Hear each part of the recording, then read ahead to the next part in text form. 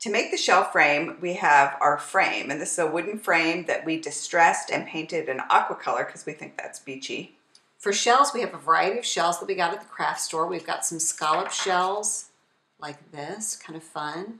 We've got starfish and just some other various shells in different sizes.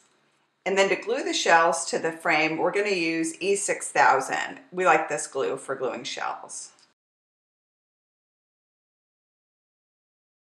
For our design, we decided we want to embellish just this bottom right-hand corner. And we usually start with the largest items first when we're doing a project like this, but we decided we want these scallop shells sort of tucked under the starfish. So we're going to start by gluing them first. So I'm just going to take the E6000. We use this for a lot of shell projects. It's nice and viscous. And I'm going to squeeze a little glue out on the edges. There's not a lot of surface area on these shells, so you want to make sure you get enough on the, on the edges to glue it down.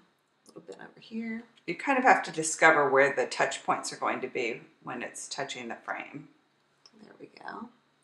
And I'm just going to put this one kind of, kind of here and wonk it a little bit for fun. That's fun. I think we'll do the other one. What, do you think sort of over here? Yeah, I like that. That's Does it need good. to be a little bit closer like that maybe? Yeah, that's perfect. We got our shells at the craft store, or you could use shells that you got on a trip to the beach, or some people have inherited a shell collection. You could use that. We love rating our shells when we do projects like this because you really can use any any shells you want. There we go, got a little bit of glue in there. That looks great. So now I think, why don't we tuck this starfish just right on Love top it. like that. That's great. I'm trying to see where it's touching. I can feel that it's touching a little bit here and a little bit here a little bit at the bottom. So I'm gonna kind of guess and then see if it holds up. Oh, that worked. Good. And this color of shell is looking really good with the color that we painted. So why don't we fill in, kind of just keep going this way Yeah. a little bit with some of the Maybe bigger a bigger shells? cat's eye could go Oh, here. yeah, let's do that. Maybe this guy there. yeah, I think that's, that's, nice. cute. I like him. Just like that. So once you have the first shells laid out, it gets a little bit easier because then you pick things to tuck in next where it makes sense. yeah, like this kind of fits nestled in there nicely. Cute. So we'll just put a little glue on that. And this glue will set up in about probably about 15 minutes. Um, not, you know, you don't want to wrestle the shells around, but it means that you can adjust the shells a little bit if you need to. And then this What do you one's in think? here. Do you want to put a little something in there? Oh yeah. Maybe one of those pointy things. Oh yeah, that'd be fun. That fit? Or Like- maybe that could go right here. Oh, that's good. Like this, like outer in? Kind of I think pointing out. Pointing in. I like that like that. Like that. Let's do that. So you just sort of design on the fly. And we're not going to That's go much fine. higher than that. We'll just sort of kind of taper the shells off. So going smaller as we go up to this edge, and that'll be the end of this side. Yeah, we can fill in a little bit. Let's see. Want to put maybe put that one's a Oh, little bit big. No, I like that one. You like that one? there? Yeah. Is that too big there?